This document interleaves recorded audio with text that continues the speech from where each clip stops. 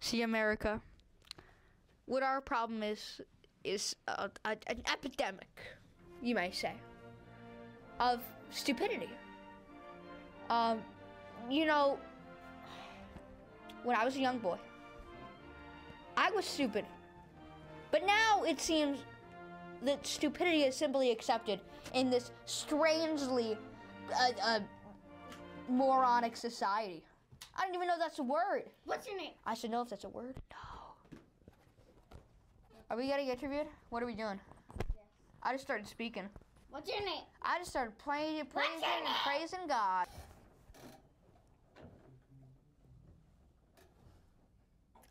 Uh, my name will be revered in history as the most namiest name. Barrentos Bertucci. Brentus Bertucci. Uh, I run on behalf of Bertucci's stuffed crust pizza. That's right, people. I'm part of the stuffed crust party. I believe America needs more cheese in their bread. so, what's your favorite political color? What's my favorite political color? Red. Because I think of red when I think of pol- politics. Blood and guts spilled from the, the, the voters, the citizens that have been hurt by America. Because you know what? We have never believed in a government that could really give the citizens what they want. You know what the citizens want?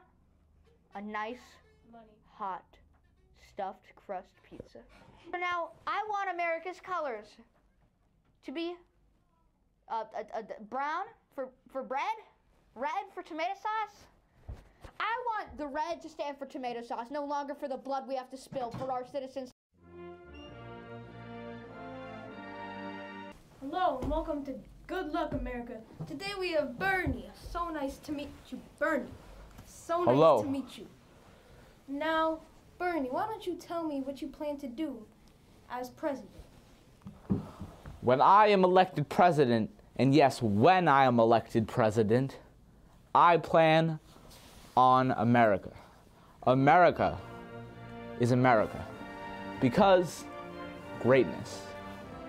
Do you know where this greatness comes from? Not Donald Trump, not anything like that. The American people. The American people. Now, what do you tell me what you're going to do about the country's economy?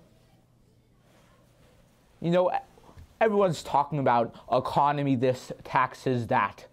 But when I was a child, we didn't worry about money.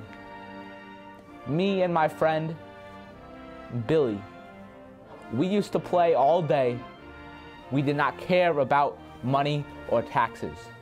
Partially because we were nine years old, but still, taxes and money and economy were not a thing. I think we should go back to that. We should go back to that American ideal of no money.